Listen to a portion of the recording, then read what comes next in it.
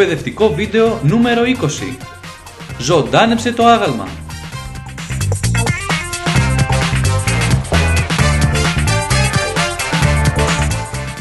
Καλώς ήρθατε σε ένα ακόμα εκπαιδευτικό βίντεο του My Aegean Photoshop Tutorials. Μάνι μάνι, τα φτάσαμε τα 20 επεισόδια, ε. ε χωρίς πολλά πολλά επεισόδια. Λοιπόν, να σοβαρευτούμε. Στο παρόν εκπαιδευτικό βίντεο θα μάθετε τον τρόπο με τον οποίο θα ζωγραφίζετε αγάλματα έτσι ώστε να έχουν ανθρώπινη υπόσταση. Δηλαδή να μοιάζουν αληθινοί άνθρωποι ρε παιδάκι μου, τα βήματα που θα δείτε μπορείτε να τα εφαρμόσετε σε όλα τα αγάλματα. Είτε είναι μαρμάρινα, είτε ξύλινα, είτε μεταλλικά. Για παράδειγμα, εδώ έχω το άγαλμα του Μικελάντζελο, ο Δαβίδ. Η πρώτη δουλειά που έχουμε να κάνουμε είναι να μαρκάρουμε το σώμα. Πάμε να δούμε. Για να μαρκάρουμε το σώμα, μια ιδέα που προτείνω εγώ είναι να χρησιμοποιήσουμε το Quick Mask Mode. Με αυτόν τον τρόπο μπορώ να μαρκάρω ένα σημείο της εικόνας απλά χρησιμοποιώντας το Brush Tool. Τώρα, για να εφαρμοστεί αυτός ο κανόνας του μαρκαρίσματος, πατάω πάνω στο Quick Mask και μετά επιλέγω Brush Tool, εγώ το είχα προεπιλεγμένο και ελέγχουμε τα χρώματα να είναι πάνω μαύρο, πίσω άσπρο. Αν δεν είναι, πατάμε αυτό το κουμπάκι εδώ κάτω. Ή αλλιώς πατάμε το, το πλήκτρο D. Τώρα, πάμε να μαρκάρουμε το σώμα. Εγώ θα πρέπει να μαρκάρω και το σώμα και τα μαλλιά του. Δεν θέλω να μαρκάρω τείχο, δεν θέλω να μαρκάρω τα επιπλά, δεν, δεν, δεν, δεν με ενδιαφέρει. Μόνο ο άνθρωπος με ενδιαφέρει.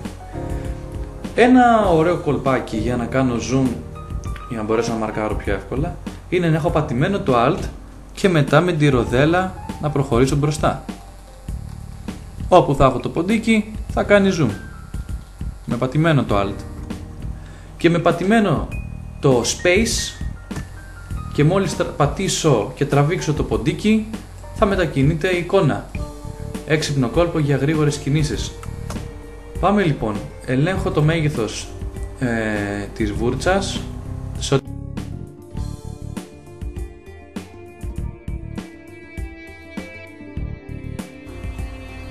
Ξεκινάω με τα μαλλιά. Λοιπόν,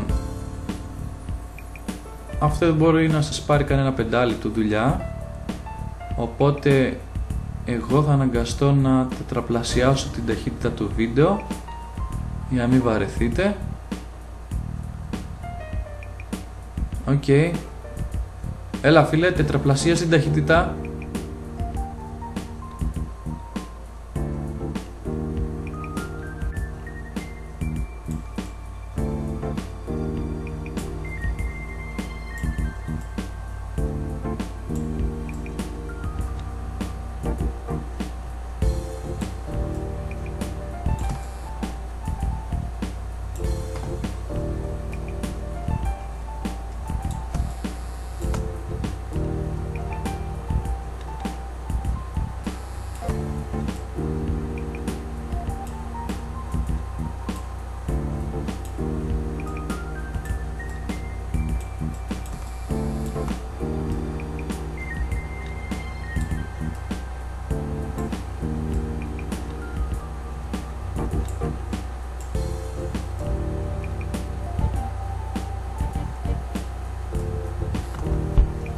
Ωραία. Έχω μαρκάρει το περίγραμμα για να μην αργώ πολύ. Θα σας δείξω ένα κολπάκι. Βέβαια θα χρειαστεί κάποιες διορθώσεις μετά, αλλά για να μην αργούμε γίνεται πιο εύκολα. Έχουμε χρησιμοποιήσει τη βούρτσα για να μπορέσουμε να κάνουμε ε, το μαρκάρισμα προς το παρόν. Ε, επίτηδες έκανα μόνο το περίγραμμα. Μπορώ είτε να γεμίσω το υπόλοιπο με τη βούρτσα μεγαλύτερου μεγέθους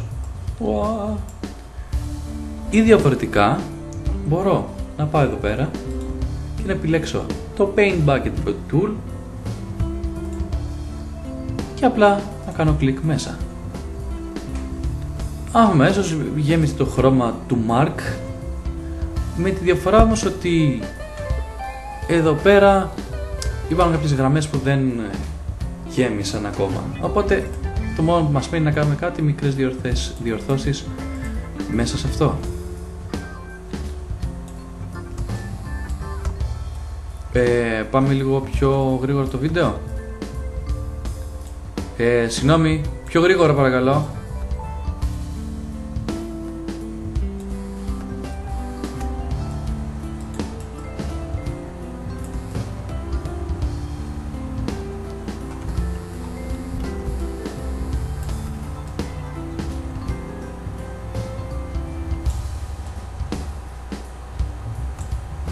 Ωραία.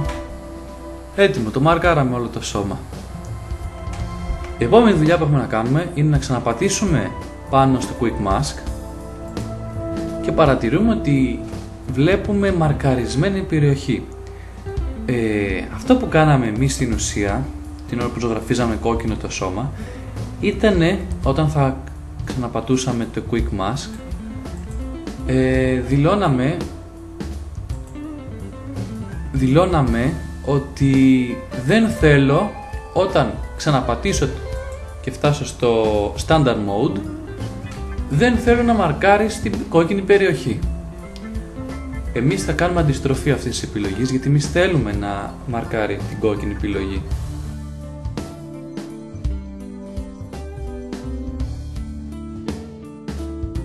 Υπάρχει ένας συνδυασμός πλήκτρων Ctrl Shift Ι. Τώρα έγινε αντιστροφή μαρκαρίσματος. Το επόμενο βήμα μας είναι να κάνουμε αντιγραφή επικόλληση το μαρκαρισμένο σημείο μας. Αυτό να το θυμάστε κάθε φορά που δημιουργείτε φωτογραφίες ή κάνετε επεξεργασία. Θα κάνετε πάντα αντιγραφή του αρχικού στοιχείου έτσι ώστε να μην χαλάσετε το αρχικό στοιχείο. Γιατί είναι κρίμα μετά να το ψάχνετε έτσι ώστε να μπορείτε να το επεξεργάζεστε όσο θέλετε και να το αντιγράφετε όπως θέλετε. Λοιπόν, η αντιγραφή επικόλληση του μαρκαρισμένου σώματος είναι με το συνδυασμό πλήκτρων Ctrl-J. Παρατηρούμε εδώ πέρα δεξιά στα layers ότι αντιγράφτηκε και επικολλήθηκε το μαρκαρισμένο σώμα. Το background έμεινε σταθερό. Το layer 1 είναι το αντιγραμμένο σώμα. Αν βγάλω το background, μένει το σώμα. Τώρα παρατηρείτε ότι δεν έχω κάνει καλό μαρκάρισμα. Το έκανα στα γρήγορα για να δείτε πώς θα γίνει όλη η δουλειά. Εσείς θα κάνετε καλή δουλειά. Όπως και η φωτογραφία που θα δείξουμε στο τέλος είναι από καλή δουλειά. Όχι αυτό που σας παρουσιάζω αυτή τη στιγμή. Παρ' όλα αυτά, το επόμενο βήμα μας είναι ο συνδυασμός Ctrl U που θα μας ανοίξει το παράθυρο Hue Saturation. Σε αυτό θα κάνετε ακριβώς τα ίδια βήματα που θα σας δείξω. Πατάμε Colorize, στο Hue ρυθμίζεται 27 και στο Saturation 41. Ήδη βλέπουμε έχει πάρει μια πρώτη μορφή το σώμα, ε, ε ωραίο χρώμα, ωραίο. Πατάμε OK. Στο επόμενο βήμα μας πατάμε το συνδυασμό Ctrl M που βγαίνει το παράθυρο Curves. Σε αυτό το παράθυρο πάμε πάνω στο channel και το βάζουμε red. Στο red μαρκάρουμε το πάνω κουτάκι με ένα κλικ και του δίνουμε συντεταγμένες output 255 και input 250 και στο κάτω κουτάκι output 0 input 111 Βλέπετε ότι το χρώμα του σώματος έχει χαλάσει αλλά δεν μας ενδιαφέρει, θα δούμε στο αποτέλεσμα σε λίγο. Σας τα δίνω βήμα βήμα. Μετά το red πάμε στο green. Το πάνω κουτάκι θα έχει output 255 και input 247 το κάτω κουτάκι θα έχει output 0 και input 76. Τώρα πάμε στο blue. Το πάνω κουτάκι θα έχει output 255 και input 244. Το κάτω κουτάκι θα είναι 0 και 48. Πηγαίνοντας στο RGB, όλα τα χρώματα μαζί, θέλουμε το τελικό αποτέλεσμα να είναι αυτή η τριχρωμία το ένα δίπλα στο άλλο.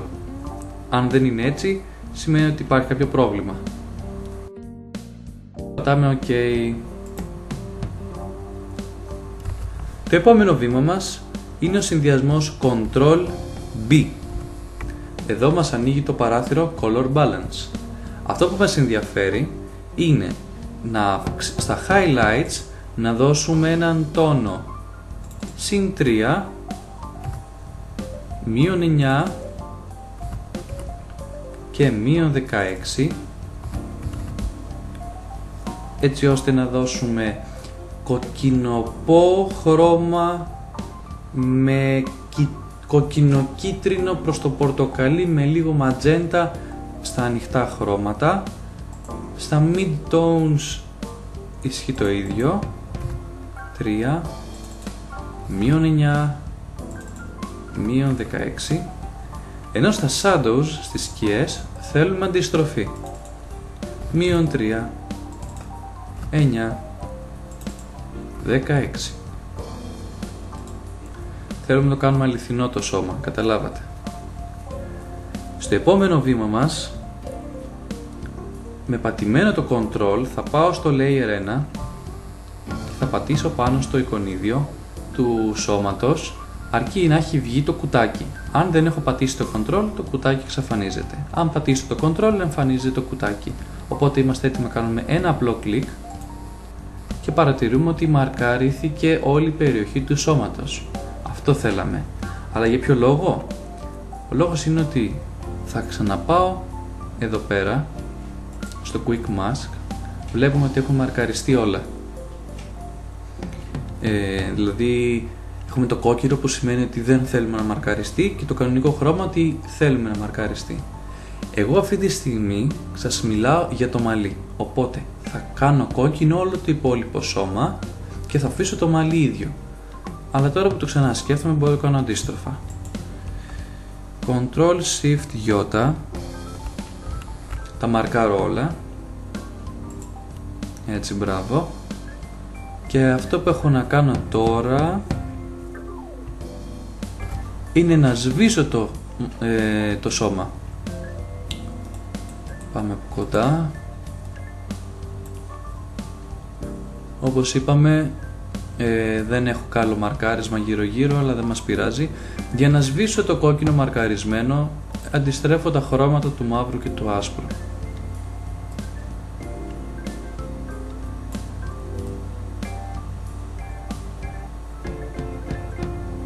δεν θα φαγωθώ τώρα στην, στο μαρκάρισμα. Όπως επίσης δεν θα καθίσω να σας το δείξω έτσι ολόκληρο. Γι' αυτό παρακαλώ πολλαπλασιάστε την ταχύτητα γιατί ο κόσμος θα βαρεθεί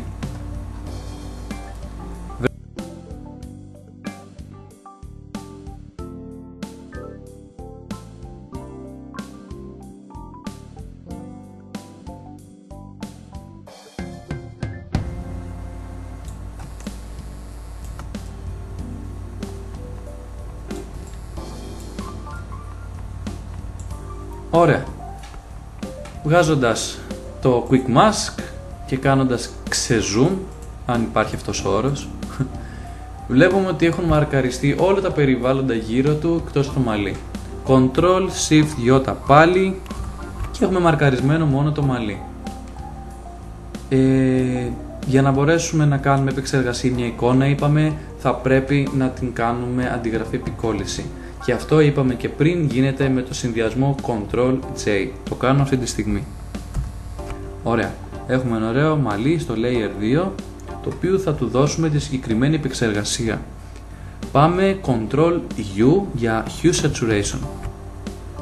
Θα του δώσουμε πάλι άλλο χρώμα. Ε, συνήθως αυτά τα γάλματα και αυτοί οι άνθρωποι με αυτό το μαλλί ήταν ξανθοί. Οπότε εγώ θα σας δώσω την πληροφορία για το ξανθό μαλλί.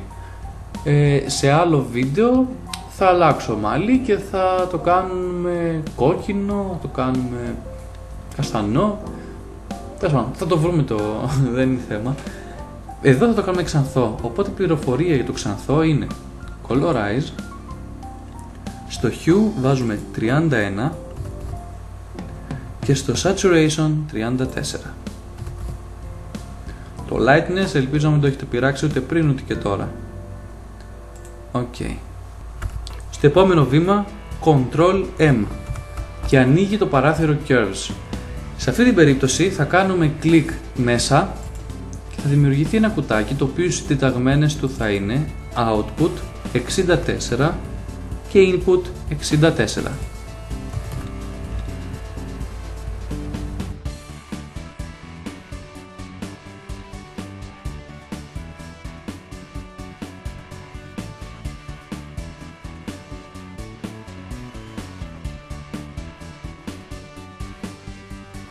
Πατάμε OK αυτή τη στιγμή δώσαμε μια διαφορά στον φωτισμό του ξανθού μαλλιού και στη σκίασή του.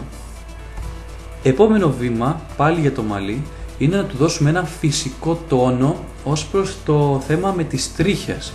Δηλαδή αυτό είναι άγαλμα. Ο δημιουργός χτυπούσε ένα μάρμαρο. Δεν υπήρχαν τρίχες, πώς θα κάνει τις τρίχες; Πάνω στο μάρμαρο. Εμείς λοιπόν θα επιλέξουμε Smudge Tool Smudge Smudge. Τέλος πάντων Tool. Του δίνουμε μια δύναμη 95% και ένα μέγεθος ε, 5 πίξελ για τη συγκεκριμένη εικόνα και προσπαθούμε να δημιουργήσουμε τρίχες. Μαλλί. Εγώ θα το κάνω γρήγορα, εσείς θα το κάνετε προσεκτικά. Δεν ξέρω από μαλλιά εγώ, εσείς θα κάνετε το καλύτερο. Η δουλειά αυτού του εργαλείου είναι να παίρνει κομμάτια pixels από την εικόνα και να τα τραβάει. Συγχωρέστε με για την έλλειψη φαντασίας μου, δεν ξέρω να κάνω μαλλιά. Τα κορίτσια είμαι σίγουρος θα το καταφέρουν πιο εύκολα. Όσα βίντεο και να είδα για το πώς να φτιάχνεις μαλλιά δεν κατάφερα τίποτα. λοιπόν, τέλος πάντων. Τα αφήνω εδώ πέρα, εσείς το κάνετε καλύτερα, είμαι σίγουρος. Επόμενο βήμα είναι να δώσουμε ένα μια προώθηση για το ήδη υπάρχουν φως στη φωτογραφία και σκίαση σε μέρη που πιστεύουμε ότι θα έπρεπε να ταιριάζει περισσότερο η σκιά σε εκείνα τα σημεία. Τι είπα πάλι; για να μπορέσουμε να δώσουμε φωτισμό πηγαίνουμε στο Dodge Tool επιλέγουμε hardness 0 και size ένα μέγεθος που μας βολεύει εμάς για να δώσουμε τόνο στο ήδη υπάρχον φωτισμό ή σε σημεία που θέλουμε εμείς να φωτίσουμε. Στην συγκεκριμένη φωτογραφία ο φωτισμός είναι από πάνω, πάνω από το κεφάλι. Οπότε θα δώσω λίγο εδώ στο στέρνο. Ουοπ. Όχι. Ε, μην ξεχνάτε να μαρκάρετε τα συγκεκριμένα σημεία που θέλετε να επεξεργαστείτε. Σώμα. Ουοπ. Ε, και εδώ πιστεύω. Γρήγορες κινήσεις όμως, ε. Γιατί αλλιώς ξεφεύγει. Ε, νομίζω αυτά τα σημεία είναι καλά. Και για να δώσουμε σκιές πάμε στο Burn Tool. Hardness 0 Size ό,τι σας βολεύει.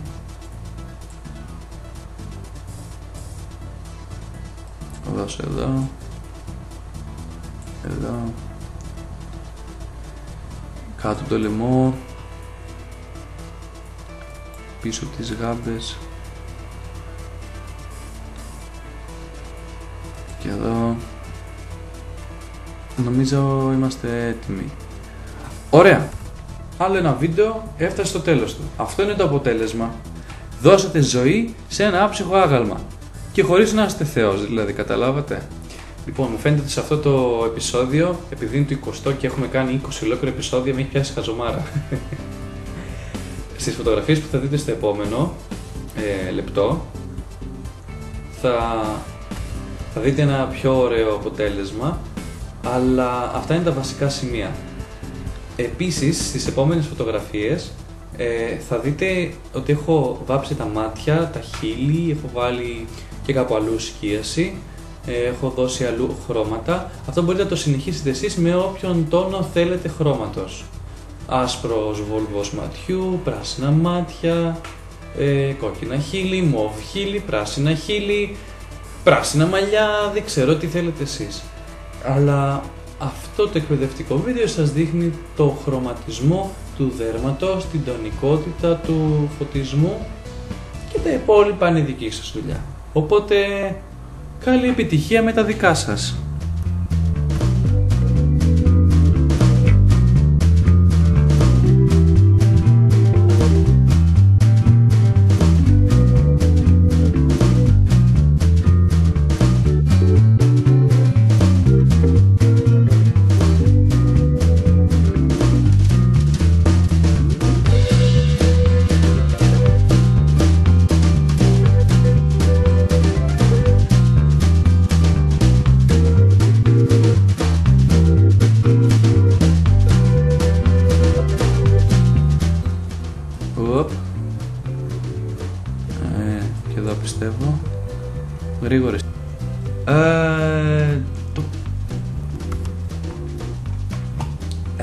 Έλα ρε βλαμμένο.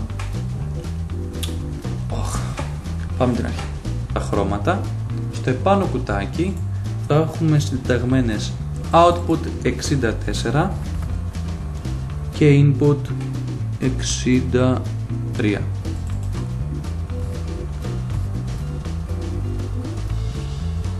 Αμ,